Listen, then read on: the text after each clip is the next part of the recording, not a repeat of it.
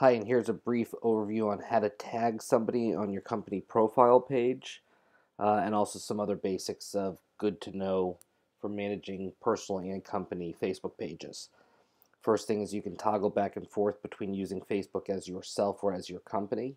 And typically Facebook will allow this right on the top header where if I click change to the name of the company, now everything I do and all my activities are posted from the company and the profile picture shows the company logo or I could change to myself personally and anything I post or say will show my personal profile picture.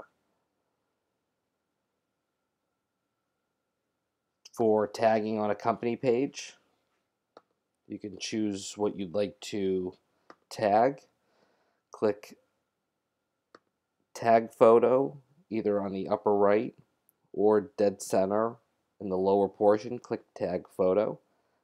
Identify the area that you'd like to tag and a list of your friends will show up. These are going to be your personal friends, not the people that have liked your company page. So if you'd like to tag people on your company page, you need to be friends with them personally first. So if I type AJ Swans, I can click on that. They are tagged. I click Done Tagging, and now you'll see up on the right that it's with AJ Swans.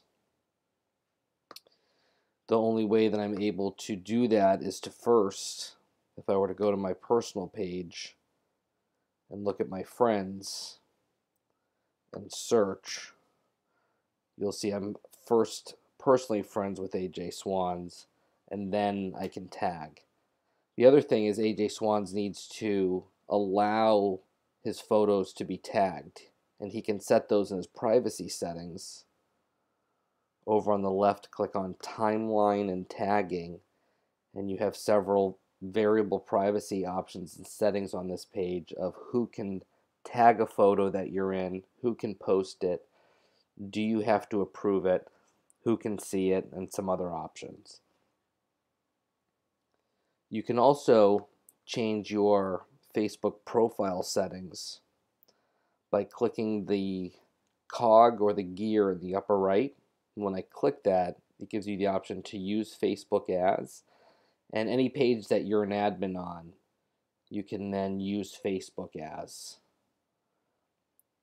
That's a brief overview of some of the things that you can do with tagging photos, how to tag photos, which photos can be tagged, and who you are posting on Facebook as, whether it's you or your company.